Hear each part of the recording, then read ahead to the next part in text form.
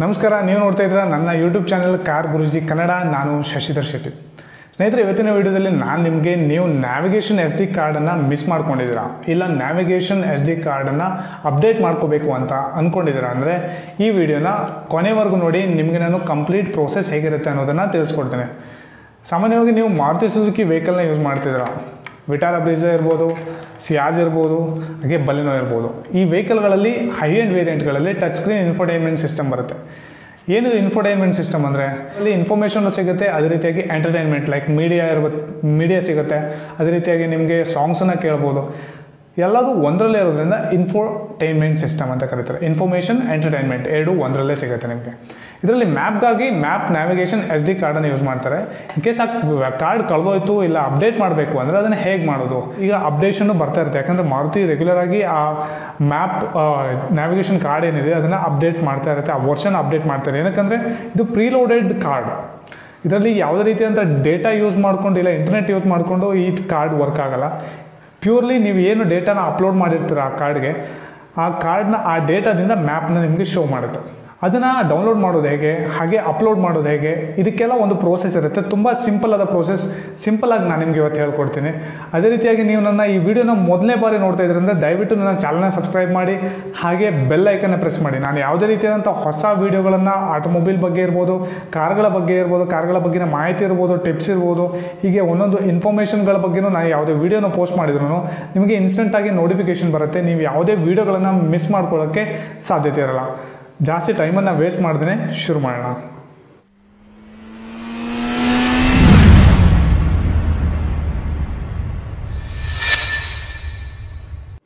ಈ navigation map card update ಮಾಡಬೇಕು ಅಂದರೆ ಅದರಲ್ಲಿ ಮೂರು ಡಿಫ್ರೆಂಟ್ ಸ್ಟೆಪ್ಸ್ ಇರುತ್ತೆ. ಈ ಸ್ಟೆಪ್ಸನ್ನು ನೀವು ಯಾವಾಗಲೂ ಫಾಲೋ ಮಾಡಬೇಕಾಗತ್ತೆ.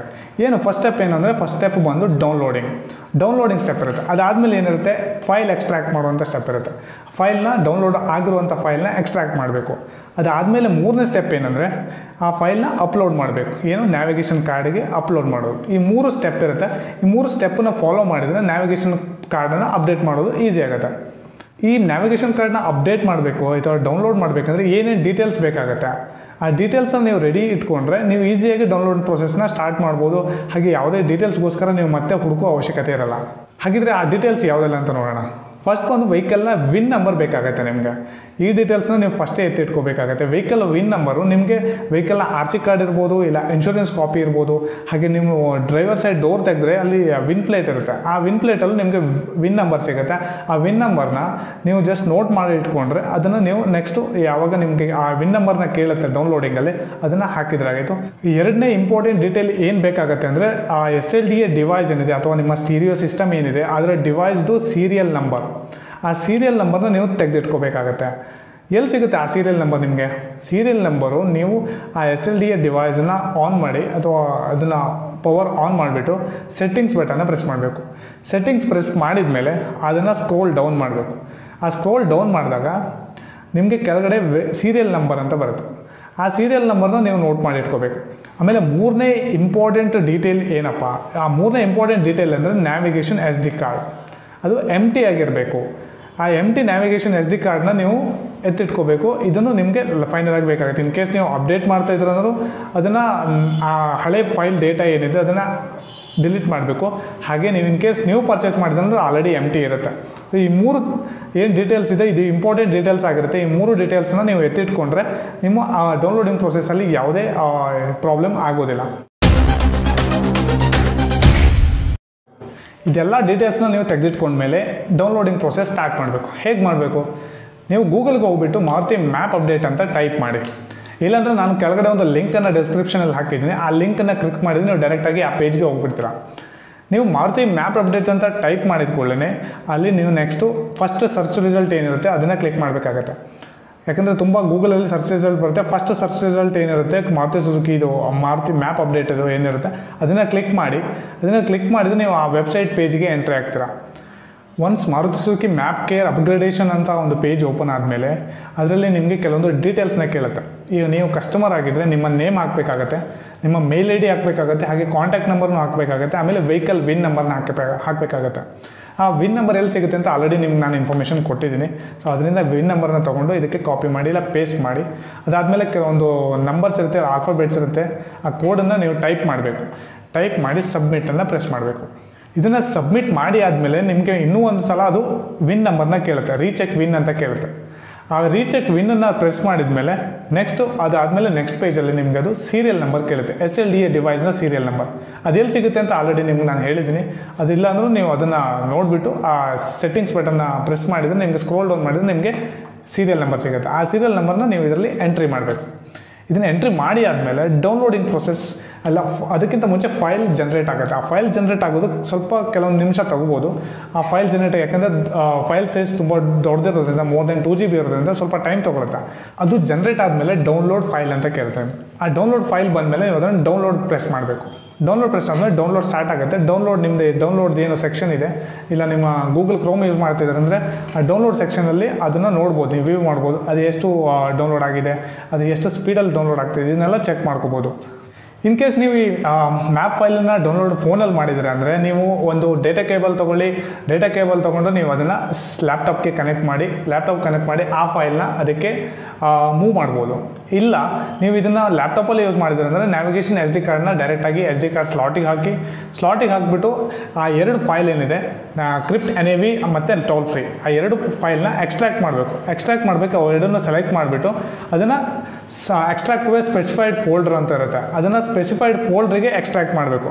ಇಲ್ಲಾಂದ್ರೆ ನೀವು ಯಾವ ಪ್ಲೇಸಿಗೂ ಎಕ್ಸ್ಟ್ರಾಕ್ಟ್ ಮಾಡ್ಬೋದು ಬಟ್ ನ್ಯಾವಿಗೇಷನ್ ಕಾರ್ಡಿಗೆ ನೀವು ಇದನ್ನು ಅಪ್ಲೋಡ್ ಮಾಡೋದ್ರಿಂದ ಡೈರೆಕ್ಟಾಗಿ ಎಕ್ಸ್ಟ್ರಾಕ್ಟ್ ವೇ ಸ್ಪೆಸಿಫೈಡ್ ಫೋಲ್ಡರ್ನ ಅಂತ ಸೆಲೆಕ್ಟ್ ಮಾಡಿ ಅದು ಆದಮೇಲೆ ಡೈರೆಕ್ಟಾಗಿ ನ್ಯಾವಿಗೇಷನ್ ಎಸ್ ಡಿ ಕಾರ್ಡನ್ನು ಸೆಲೆಕ್ಟ್ ಮಾಡಿ ಆ ಟೈಮಲ್ಲೇ ಅದರಿಂದ ಡೈರೆಕ್ಟಾಗಿ ನಿಮಗೆ ಎಸ್ ಡಿ ಕಾರ್ಡ್ಗೆ ಅದು ಎಕ್ಸ್ಟ್ರಾಕ್ಟ್ ಆಗುತ್ತೆ.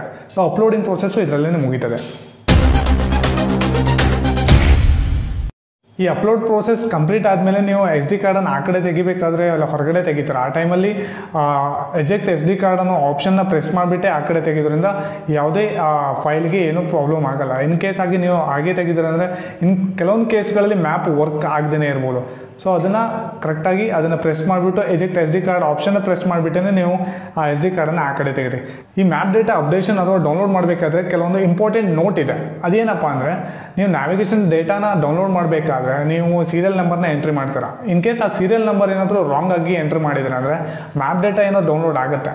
ಬಟ್ ಡೌನ್ಲೋಡ್ ಆಗಿರುವಂಥ ಡೇಟಾನ ನೀವು ನೆಕ್ಸ್ಟ್ ಅದನ್ನು ಅಪ್ಲೋಡ್ ಮಾಡಿ ನ್ಯಾವಿಗೇಷನ್ ಕಾರ್ಡ್ನ ಯೂಸ್ ಮಾಡಬೇಕು ಅಂದ್ಕೊಂಡ್ರೆ ಅದು ಯೂಸ್ ಆಗಲ್ಲ. ಏನಕ್ಕೆ ಅಂದರೆ ರಾಂಗ್ ಎಂಟ್ರಿ ಸೀರಿಯಲ್ ನಂಬರ್ನ ನೀವೇನಾದರೂ ಹಾಕಿದ್ರೆ ಅಂದರೆ ಅದು ಎಸ್ ಎಲ್ ಡಿ ಎ ಡಿವೈಸ್ಗೆ ಮ್ಯಾಚ್ ಆಗೋದಿಲ್ಲ. ಅದರಿಂದ ಅದು ವರ್ಕ್ ಆಗಲ್ಲ. ಬಟ್ ನೀವು ಡೌನ್ಲೋಡ್ ಆಗುತ್ತೆ, ಮತ್ತೆ ಪುನಃ ನೀವು ಅದನ್ನು ರೀ ಡೌನ್ಲೋಡ್ ಮಾಡಬೇಕು ಕರೆಕ್ಟಾಗಿ ಸೀರಿಯಲ್ ನಂಬರ್ನ ಎಂಟ್ರಿ ಮಾಡಿಬಿಟ್ಟು. ಅದಾದಮೇಲೆ ಈ ಡೌನ್ಲೋಡಿಂಗ್ ಪ್ರೊಸೆಸ್ ಕಂಪ್ಲೀಟ್ ಆಯಿತು. ನೀವು ಡೇಟಾನ ಅಪ್ಲೋಡ್ ಮಾಡಿದಿರಾ ಹಾಗೆ ನೀವು ಇನ್ಸರ್ಟ್ ಮಾಡ್ತೀರಾ ಮ್ಯಾಪ್ ವರ್ಕ್ ಆಗ್ತಾಯಿಲ್ಲ ಆ ಥರ ಕೇಸ್ಗಳಲ್ಲಿ ನೀವು ಡೌನ್ಲೋಡ್ ಮಾಡಿರೋ ಡೇಟಾ ಏನು ಫೋನಲ್ಲಿ ಇರುತ್ತೆ ಇಲ್ಲ ಲ್ಯಾಪ್ಟಾಪಲ್ಲಿ ಇರುತ್ತೆ, ಅದನ್ನು ಡಿಲೀಟ್ ಮಾಡೋಕೆ ಹೋಗಬೇಡಿ. ಯಾವಾಗ ಮ್ಯಾಪ್ ವರ್ಕ್ ಆಗುತ್ತಾ ಇಲ್ವಾ ಅಂತ ಕನ್ಫರ್ಮ್ ಮಾಡಿಕೊಂಡು ಅದಾದಮೇಲೆ ಡಿಲೀಟ್ ಮಾಡೋಕ್ಕೆ ಹೋಗಿ. ಇಲ್ಲ ಅಂದರೆ ನೀವು ಮತ್ತೆ ಪುನಃ ನೀವು ಇನ್ ಕೇಸ್ ಏನೋ ಒಂದು ಕರಪ್ಷನ್ ಆಯಿತು ಇಲ್ಲ ಎಸ್ ಡಿ ಕಾರ್ಡಲ್ಲಿ ಏನೋ ಪ್ರಾಬ್ಲಮ್ ಇತ್ತು, ಆ ಥರ ಕೇಸ್ಗಳಲ್ಲಿ ಮತ್ತೆ ಇನ್ನೊಂದು ಸಲ ಡೌನ್ಲೋಡ್ ಮಾಡಬೇಕಾಗತ್ತೆ. ಅದಕ್ಕೋಸ್ಕರ ಕನ್ಫರ್ಮ್ ಮಾಡಿಕೊಂಡು ನ್ಯಾವಿಗೇಷನ್ ವರ್ಕ್ ಆಗ್ತಾ ಇದೆಯಲ್ವ ಅಂತ ಅದಾದಮೇಲೆ ಡಿಲೀಟ್ ಮಾಡಿ. ಮುಂಚೆನೇ ಡಿಲೀಟ್ ಮಾಡೋಕ್ಕೆ ಹೋಗಬೇಡಿ. ಮತ್ತು ಇದ್ರ ಜೊತೆಗೆ ನಾನು ನಿಮ್ಗೊಂದು ಇಂಪಾರ್ಟೆಂಟ್ ಟಿಪ್ಪನ್ನು ಕೊಡ್ತೀನಿ. ಅದೇನಪ್ಪ ಅಂದರೆ, ನೀವು ಹಳೆ ನಂದು ನ್ಯಾವಿಗೇಷನ್ ಎಸ್ ಡಿ ಕಾರ್ಡ್ ಇದೆ. ಅದರದ್ದು ವರ್ಷನ್ ಚೆಕ್ ಮಾಡೋದು ಹೇಗೆ? ಏನಿಲ್ಲ ಜಸ್ಟ್ ಏನು ಮಾಡಿ ಅಂದರೆ ನೀವು ಆ ನ್ಯಾವಿಗೇಷನ್ ಎಸ್ ಡಿ ಕಾರ್ಡ್ನ ನಿಮ್ಮ ಪಿ ಸಿ ಇಲ್ಲ ಲ್ಯಾಪ್ಟಾಪ್ಗೆ ಕನೆಕ್ಟ್ ಮಾಡಿ. ಅಲ್ಲಿ ಎಸ್ ಡಿ ಕಾರ್ಡ್ ಸ್ಲಾಟ್ ಇರುತ್ತೆ, ಅದಕ್ಕೆ ಕನೆಕ್ಟ್ ಮಾಡಿ. ಹಾಗೆ ಅದನ್ನು ಆ ಫೋಲ್ಡ್ರನ್ನ ಓಪನ್ ಮಾಡಿ. ಆ ನ್ಯಾವಿಗೇಷನ್ ಫೋಲ್ಡ್ರನ್ನ ಓಪನ್ ಮಾಡಿದ ಮೇಲೆ ನಿಮಗೆ ಆ ನ್ಯಾವಿಗೇಷನ್ ಫೋಲ್ಡ್ರಲ್ಲಿ ಎರಡು ಫೈಲ್ ಬರುತ್ತೆ. ಒಂದು ಕ್ರಿಪ್ಟ್ ಎನ್ ಎ ವಿ ಅಂತ ಇರುತ್ತೆ, ಇನ್ನೊಂದು ಟಾಲ್ ಫ್ರೀ ಅಂತ ಇರುತ್ತೆ. ಆ ಕ್ರಿಪ್ಟ್ ಎನ್ ಎ ವಿ ಫೈಲ್ನ ಓಪನ್ ಮಾಡಿದರೆ ನಿಮಗೆ ಕೆಲವೊಂದಿಷ್ಟು ಡೀಟೇಲ್ಸ್ ಬರುತ್ತೆ ಫೈಲ್ಸ್ ಬರುತ್ತೆ. ಅದರಲ್ಲಿ ಇನ್ಫೋ ಡಾಟ್ ಟೆಕ್ಸ್ಟ್ ಅನ್ನೋ ಫೈಲನ್ನು ಕ್ಲಿಕ್ ಮಾಡಿ. ಕ್ಲಿಕ್ ಮಾಡಿದರೆ ನಿಮಗೆ ಈ ಥರ ಅದರಲ್ಲಿ ಯಾವ ವರ್ಷನ್ ಇದೆ ಪ್ರೆಸೆಂಟ್ ವರ್ಷನ್ ಏನಿದೆ ಅನ್ನೋದು ನಿಮ್ಗೆ ಸಿಗುತ್ತೆ. ಅದಾದಮೇಲೆ ನೀವು, ಆ ವರ್ಷನ್ ನೋಡಿಬಿಟ್ಟು, ಆಮೇಲೆ ಅದನ್ನು ಮಾರುತಿ ವೆಬ್ಸೈಟಲ್ಲಿ ಯಾವ ವರ್ಷನ್ ಇದೆ, ಅದನ್ನು ಇದಕ್ಕೆ ಕಂಪೇರ್ ಮಾಡಿ.